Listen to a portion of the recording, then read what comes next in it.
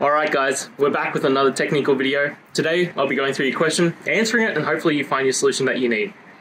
Guys, remember to stay just a little bit crazy like me, and hopefully you get to that resolution. Now, let's continue on to the video.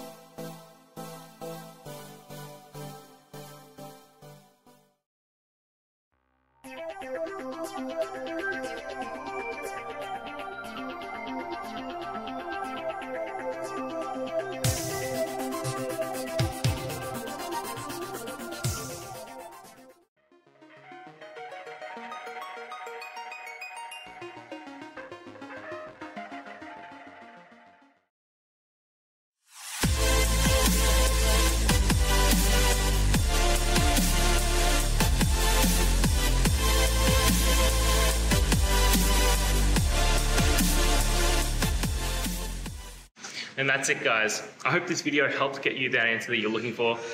Now, I'll see you next time. Please subscribe for more question and answer videos.